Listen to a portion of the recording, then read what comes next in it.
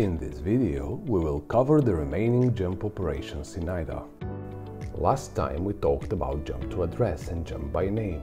While these are probably the most common in use jumps, mentioning the rest is worthwhile. Let's click on the Jump tab from the menu and look at the options.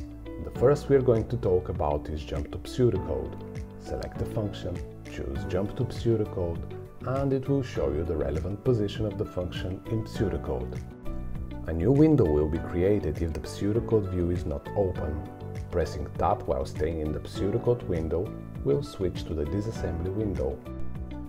And IDA will attempt to retain the position between the two views over the code. Please remember that jump to pseudocode may not be available if there is no decompiler available for the currently opened file. We have already covered the next two, so let's continue with jump to function.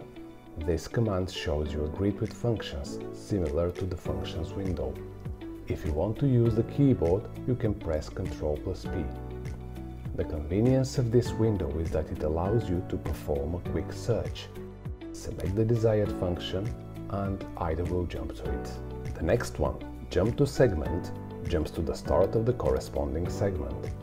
You can also invoke the same dialog by pressing Ctrl plus S hotkey IDA will ask you to select the target segment. To jump back, press Escape. Next in the list is Jump to Segment Register Change Point. Choosing it from the menu or using the Ctrl plus G hotkey will jump to the selected segment register change point. IDA will ask you to select the target change point. Again, to jump back, press the Escape key. The list cross-references to or jump to the selected cross-reference, Ctrl plus X hotkey shows you a list of cross-references to the current location.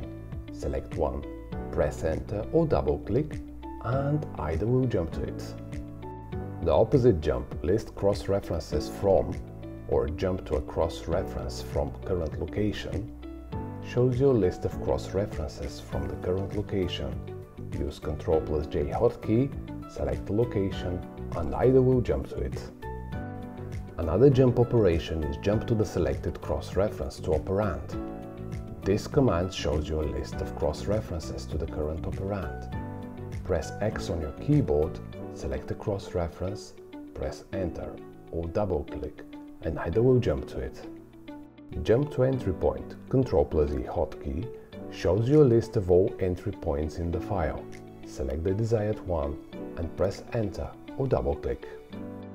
The next one on the list is Jump to File Offset. Selecting it will open a dialog asking for the target offset.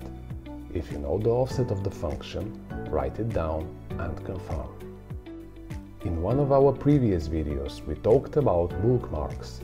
If you would like to save the location of a function, another short hint, select Mark Position, Alt plus M from the keyboard, and assign a name or text to it if at some point you would like to get back to that function, select Jump to Marked Position from the menu or use the Ctrl plus M hotkey.